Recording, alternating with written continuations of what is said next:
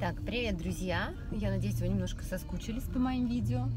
Но сегодня я решила, что поскольку путь меня ждет не близкий, то нужно использовать время, в общем-то, с умом. Ну, вы же помните одно из моих главных правил. Вот, сегодня э, хочу поговорить с вами немного об учебе, потому что я отправляюсь сегодня а, на так называемое обучение. Вот, а, но скорее, наверное, а, если уж по правде, то не на обучение, а на какие-то скажем так, на, на возможность получить, услышать чужой опыт и какие-то возможные идеи или просто вдохновение, которое у меня появится, дабы натолкнуть себя на еще большую скорость, на более, возможно, грамотные действия, оно может действительно э, внедрить какие-то фишки из, э, в общем-то, услышанного, да, то есть понять и найти что-то для себя. А в отношении обучения э, как бы много всякого снято видео у меня, еще у кого-то, вот, и а, многие люди, они вообще как бы сосредоточены на том, чтобы постоянно куда-то ходить, чему-то там учиться, набираться, но я уже, а, исходя из своего опыта многолетнего, в бизнесе. Могу вам сказать, что, конечно, нет лучшего обучения, нежели практика. А, поэтому изначально, ну, особенно тогда, да, когда вы только начинаете, вы еще ничего не понимаете, это вообще очень круто пойти, поучиться, особенно там, где а, выстраивается процесс, вообще все рассказывается, ну, там, не знаю, а, если вы, живете в Москве, то, конечно, сходить на БМ, получить массу впечатлений, эмоций, наверное, да. Вот, хотя я не была ни разу на БМе в Москве вживую, в общем-то, но понимаю, что если бы я сегодня начинала и попала в такую бы среду, то, наверное, бы офигела от счастья. Но когда вы начинаете работать, вы сталкиваетесь с реалиями, а вот а вы видите, что многие из тех вещей, которые вам рассказывали, не соответствуют действительности в вашем конкретном случае и так далее и тому подобное. Но когда вы начинаете действовать и все равно уже имеете какие-то знания, навыки, вы это начинаете лепить, и все равно у вас что-то получается. Это, знаете, как из пластилина. Надо слепить снеговичка, вы лепите, у вас снеговичок не получается, но получается Дед Мороз, да, или наоборот. Вот, а, поэтому как бы это очень круто. А в процессе, когда мы занимаемся бизнесом, а, когда мы занимаемся им активно, активно пролетаем, зарабатываем, имеем разные качели, карусели, потому что бизнес это всегда американские горки, не бывает только вверх-вверх-вверх, а вниз-вниз-вниз бывает только в том случае, если, конечно, мы вообще не пытаемся даже ничего сделать. Если пытаемся, то у нас э, так или иначе идет такая волнообразная история. Так вот, касаемо того, когда вы начинаете заниматься активно бизнесом, идет и понимаете, в принципе, наверное, самого момента обучения, ну там, что делать, уже как бы не стоит.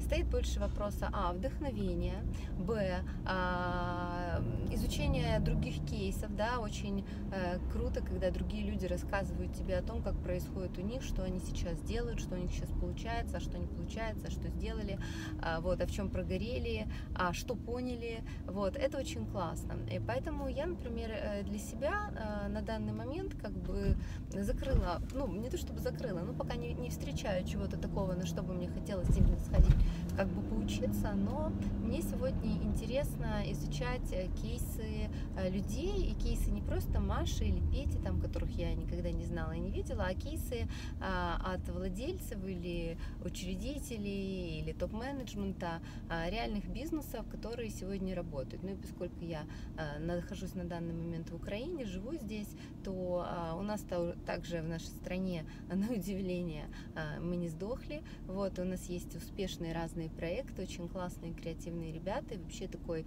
движ ощущается за последние несколько лет, а, какое-то такое подрастающее поколение, ну, наше в том числе, мое, да, подросло. И как-то так здорово стало делать, знаете, а, ну, проекты уже в рыночных условиях, да, то есть не то, что там, как обычно люди привыкли, там, какие-то откаты кому-то давать, да, как наши, там, может быть, родители, еще кто-то вел, ну, не бизнес, а по сути вот такой ментал, ментал.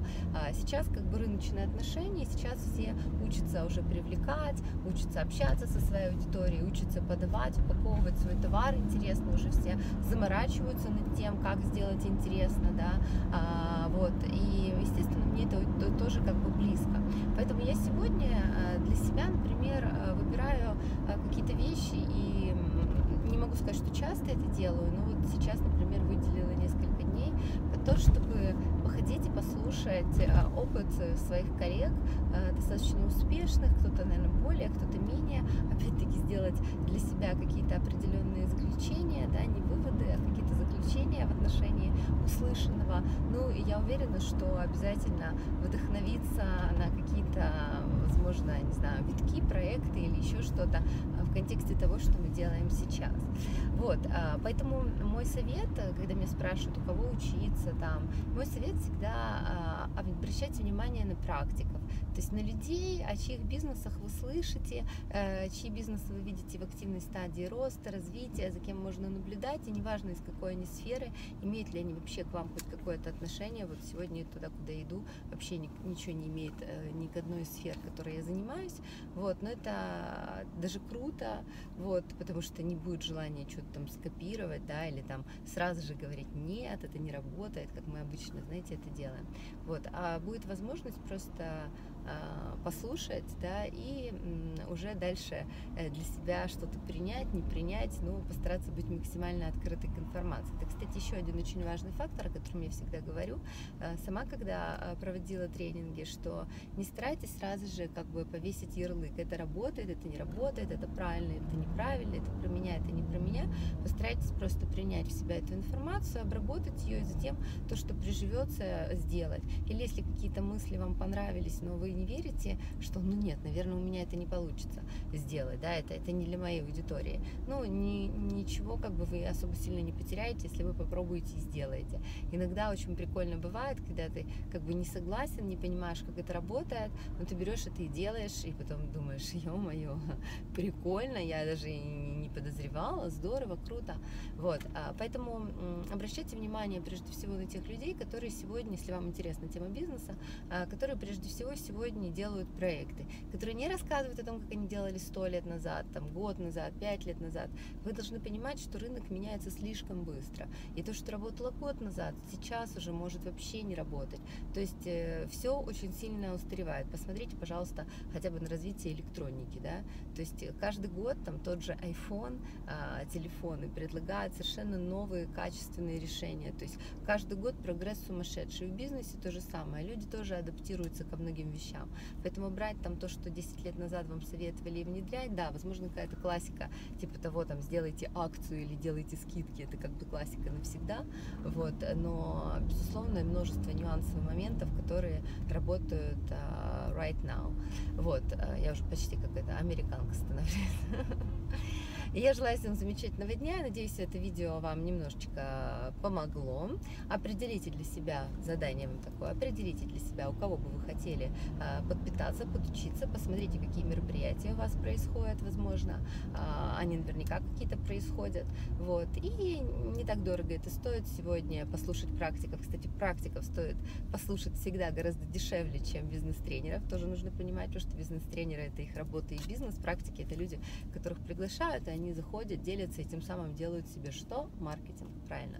Вот, э, вот, собственно, все, что я вам хотела сказать. Всем замечательного дня, поехала учиться. Пока.